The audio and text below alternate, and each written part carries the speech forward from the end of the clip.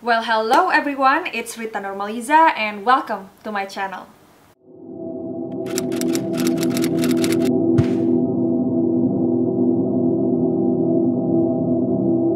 Di video kali ini, aku mau membahas tentang sebuah kasus penculikan seorang anak kecil yang disekap selama 8 tahun dan diletakkan di sebuah ruangan bawah tanah yang sempit dan kecil.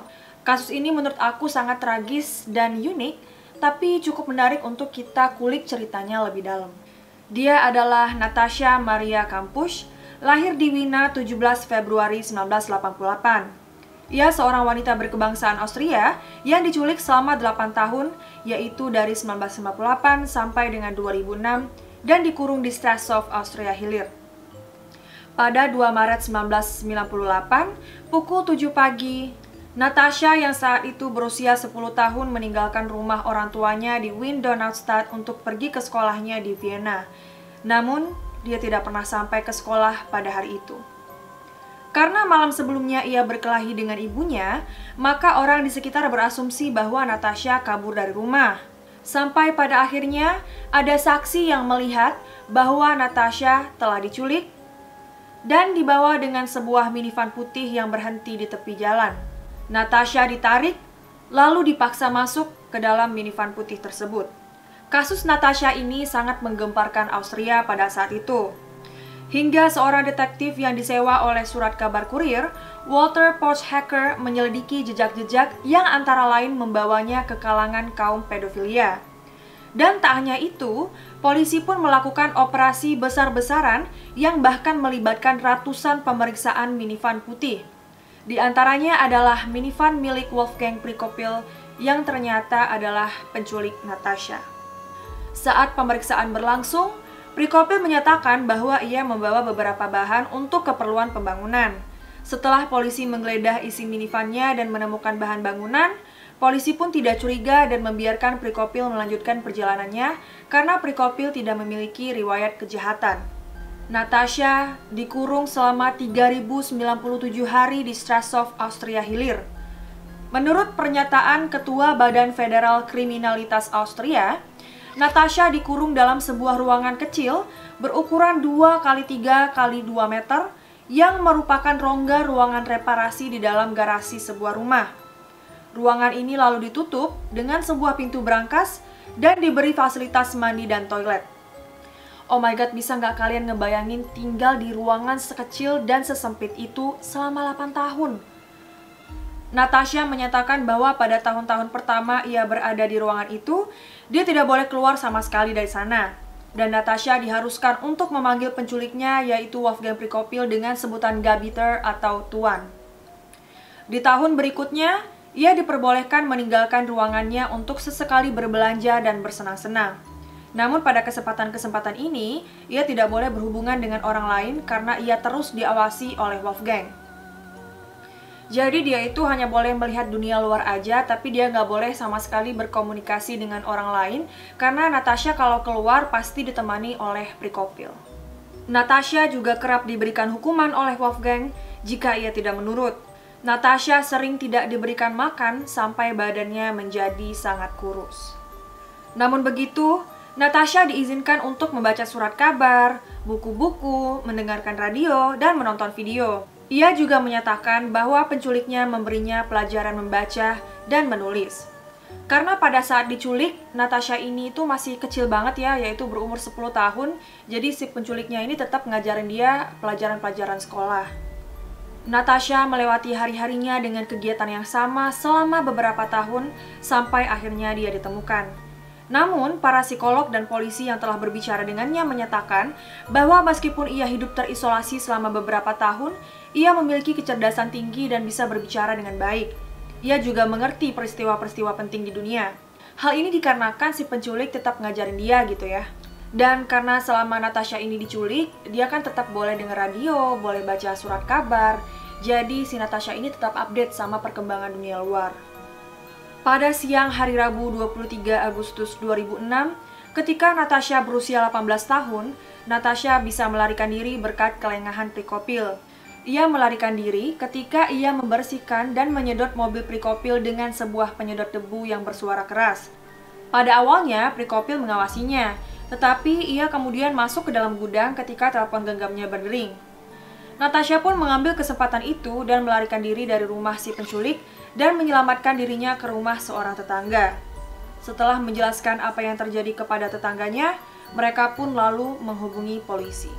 Saat ditemukan, Natasha dalam kondisi lemah dan tubuhnya terus gemeteran. Wajahnya pucat seperti orang yang tidak pernah kena sinar matahari. Namun tidak ditemukan tanda-tanda cedera pada tubuhnya, dan Natasha pun kembali ke pelukan orang tuanya berkat sebuah tanda lahir dan juga melalui tes DNA. Ketika Wolfgang Prikopil mengetahui bahwa Natasha melarikan diri, ia pun mencari Natasha. Ia membawa mobilnya untuk menelusuri sepanjang kota Strasov, lalu melihat sebuah patroli polisi Wina yang menyatakan seluruh wilayah ibu kota sebagai daerah penyidikan.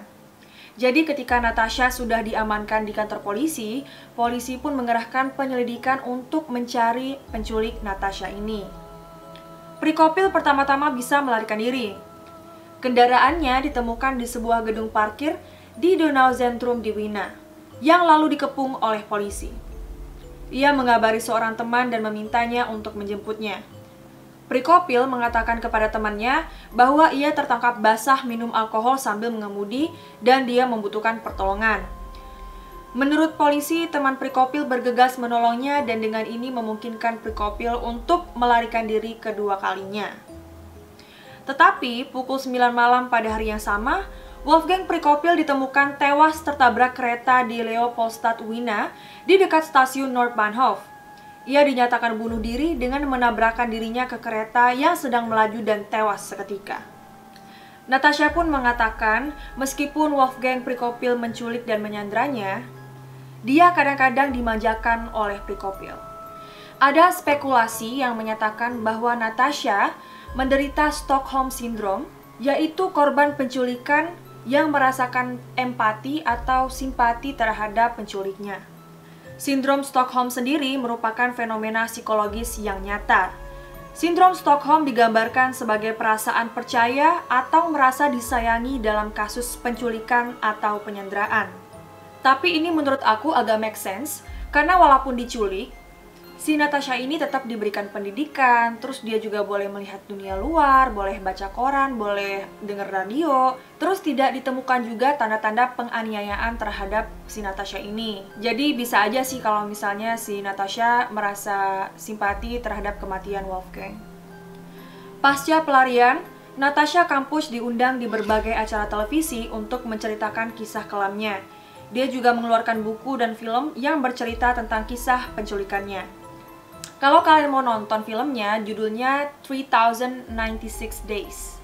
Itu filmnya bagus banget, aku sendiri udah nonton dan menurut aku aktris yang memerankan si Natasha ini benar-benar memberikan gambaran yang baik tentang seorang korban penculikan dan dia juga uh, she did a great job. Emosinya benar-benar dapet banget dan ini juga based on true events. Jadi kalau kalian mau tahu bagaimana cara Natasha Kampus melewati hari-harinya selama dia diculik, kalian harus banget nonton film ini.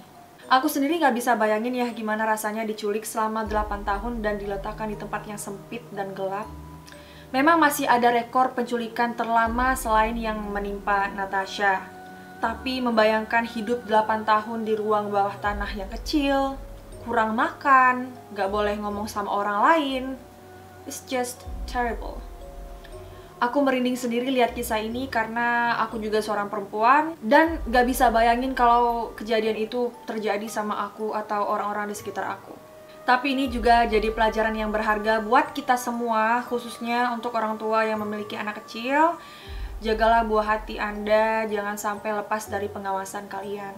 Pokoknya kita harus benar-benar pay attention sama orang-orang di sekitar kita dan juga harus peka terhadap lingkungan kita. Jangan sampai kita lalai dan lengah terus menyesal di kemudian hari. Well, that's the story of Natasha Kampush. Stay safe everyone and thank you so much for watching. Di like kalau kalian suka, di unlike kalau kalian gak suka, mungkin kurang suka dengan penyampaian aku atau dengan editan videonya. Tapi yang paling penting jangan lupa di subscribe supaya aku makin semangat upload video setiap hari. Dan selain upload video tentang kasus kriminal, aku juga upload daily vlog, travel vlog, beauty, music, horror, dan lain-lain supaya bisa terus dekat dengan kalian. I love you guys so much and see you in the next video. Bye-bye!